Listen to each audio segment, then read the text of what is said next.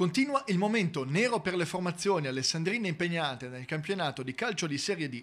Nella ventunesima giornata, andata in scena lo scorso weekend, il bilancio è di 4 sconfitte su 4 incontri, con un totale di un gol segnato e 14 subiti.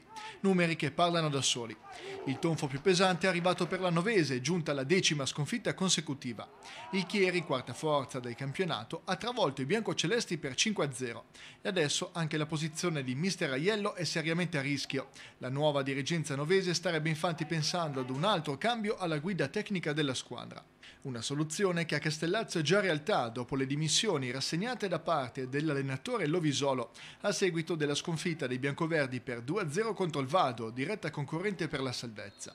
La decisione è stata presa a seguito di un incontro tra il tecnico e il presidente Curino, con quest'ultimo che ha apprezzato la scelta di Lovisolo di farsi da parte per provare a dare una scossa a tutto l'ambiente, cercando così di vertire la rotta di una stagione che vede attualmente Castellazzo in ultima posizione.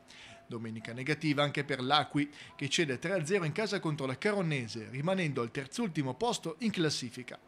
In acque più tranquille naviga il Dertona, reduce però dal secondo 4-1 consecutivo, questa volta subito dallo Sporting Bellinzago, seconda forza del campionato.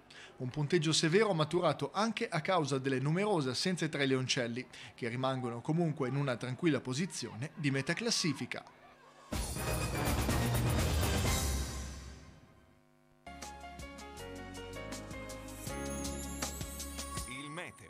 In collaborazione con Punto Fuoco di Tortona, azienda leader nella vendita di caldaie e stufe a pellet Montegrappa, autorizzata all'installazione e certificazione delle canne fumarie, con il rilascio del libretto d'impianto diventato obbligatorio.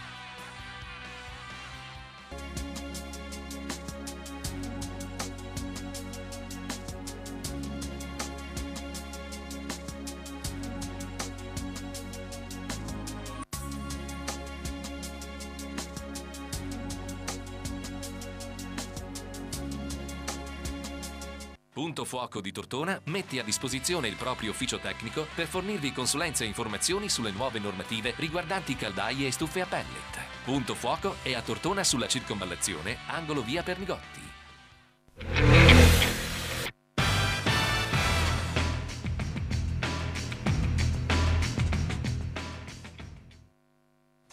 L'associazione Ligure Astrofili Polaris, in collaborazione con il Museo Civico di Storia Naturale Giacomo Doria, come ogni anno organizza un ciclo di quattro conferenze multimediali interattive. Gli incontri si terranno con ingresso gratuito presso il Museo di Storia Naturale. La prima conferenza Perché di notte il cielo è buio passa a una panoramica sul percorso della scienza astronomica e sull'origine della cosmologia moderna. Sabato 16 gennaio 2016, ore 15.30, il mistero del cielo oscuro. Relatore Marco Bruno.